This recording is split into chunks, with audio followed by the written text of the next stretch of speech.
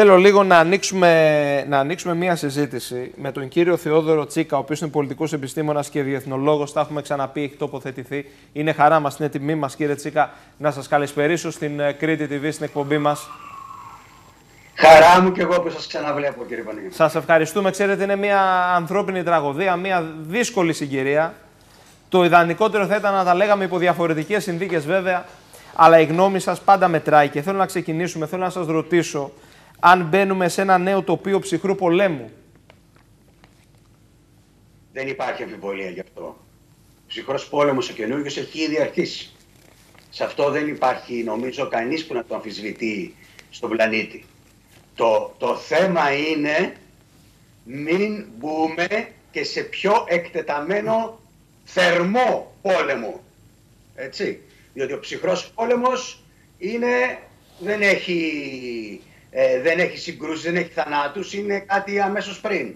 Αλλά τώρα αυτό που βλέπουμε στην Ουκρανία είναι ψυχρός πόλεμος στον πλανήτη, ψυχρός πόλεμος στην Ευρώπη, θερμός όμως πόλεμος στην Ουκρανία. Μια στρατιωτική επέμβαση η οποία ακροτηριάζει ε, την Ουκρανία, παραβιάζει την ανεξαρτησία της και την εδαφική Οπότε τι βλέπετε, τι φοβάστε για το επόμενο διάστημα; Ας ελπίσουμε όλοι, αυτό λέω, ας ελπίσουμε όλοι, ότι αυτό δεν θα επεκταθεί και σε άλλες περιοχές.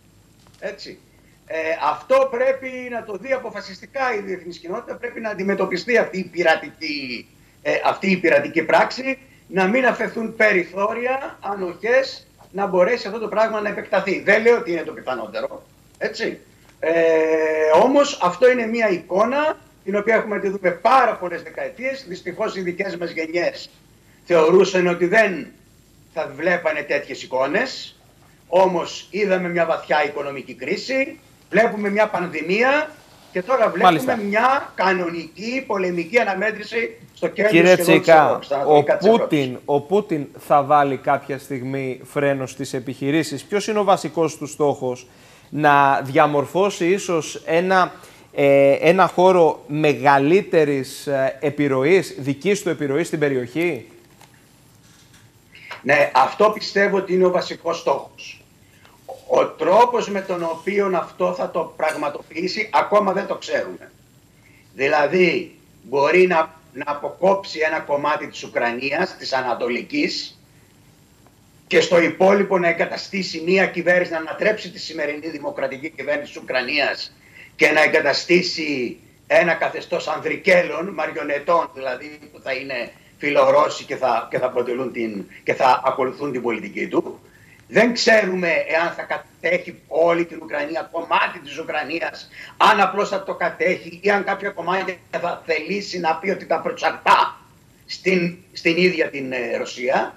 Αλλά ο γενικότερος στόχος κατά τη γνώμη μου του Πούτιν είναι στον χώρο στον οποίο υπήρχε η παλιά ρωσική αυτοκρατορία, είτε επί Τσάρων είτε επί Σοβιετικής Ένωσης, να ασκεί επιρροή, να είναι δική του ζώνη επιρροής και τα γύρω κράτη να είναι υποχρεωμένα να ακολουθούν ως ένα βαθμό τις δικούς του κανόνες που αυτός θέτει για την ασφάλεια της Ρωσίας Είχαμε και μία τοποθέτηση νωρίς το μεσημέρι του Ρώσου Προέδρου χαρακτήρισε μεταξύ άλλων τοξικομανής ε, και ναζί ε, τα μέλη της κυβέρνησης στην ε, Ουκρανία. Τι κρύβεται πίσω από αυτή την ε, τοποθέτηση; Και αν βέβαια θα κάτσει τελικά στο τραπέζι των διαπραγματεύσεων, καθώς πολλά είχαν ακουστεί ότι θα καθίσουν προκειμένου να τα βρουν.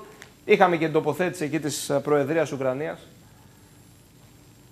Κοιτάξτε, αυτό το πρώτο στοιχείο που είπατε είναι μια προπαγάνδα η οποία γίνεται και πιστευτεί και από ορισμένου στη χώρα μας. Έτσι, ότι, ότι η Ουκρανία έχει ναζιστική κυβέρνηση. Πρέπει να σας πω ότι στην Ουκρανία έχουν γίνει πολλές φορές δημοκρατικές εκλογές και έχουν εναλλαχθεί και πολλές κυβερνήσεις και πολλοί πρόεδροι.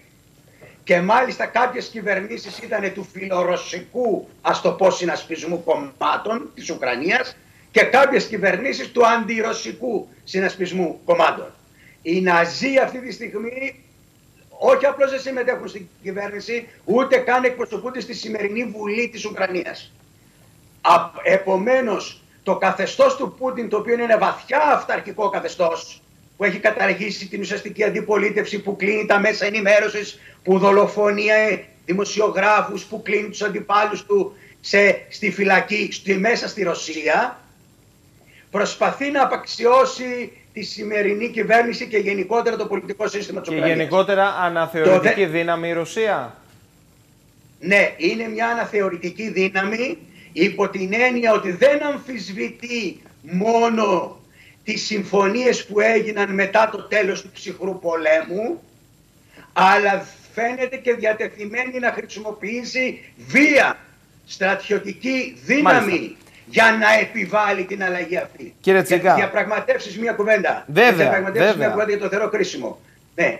Κοιτάξτε, πιστεύω ότι θα καταλάβει ένα σημαντικό τουλάχιστον κομμάτι της Ουκρανίας, αν όχι όλο, εφόσον μπορεί, ίσως εκπαραθυρώσει όπως είπαμε και την κυβέρνηση και βάλει δική του κυβέρνηση και αφού τα κατοχυρώσει σε εισαγωγικά αυτά θα πει τώρα ελάτε να διαπραγματευτούμε. Μάλιστα.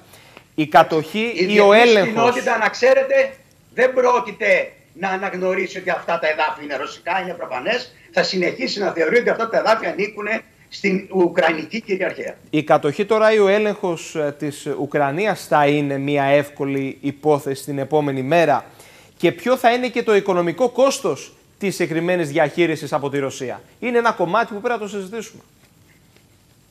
Θα είναι πάρα πολύ δύσκολη. Γι' αυτό δεν ξέρω ακριβώς τι έχουν στο νου τους. Πρώτο πράγμα που πρέπει να έχουν υπόψη, μας, υπόψη τους αυτοί που μας παρακολουθούν αυτή τη στιγμή είναι ότι η Ουκρανία είναι μια πάρα πολύ μεγάλη χώρα. Είναι πιο μεγάλη από τη Γαλλία, είναι πιο μεγάλη από την Πολωνία. Είναι η μεγαλύτερη χώρα της Ευρώπης μετά την ίδια τη Ρωσία. Επομένως η έκτασή της είναι από μόνη της δύσκολη. Να, να, να κρατηθεί έτσι. Το δεύτερο είναι αυτό που είπατε. Θα έχει βαρύτατο οικονομικό κόστος για τη Ρωσία μια ας το πω μακροχρόνια κατοχή μεγάλου τμήματος της Ουκρανίας. Τρίτον, ένα μεγάλο μέρος του ουκρανικού πληθυσμού είναι εχθρικό προς τη Ρωσία και έχει δυνατότητες να προβάλλει αντίσταση.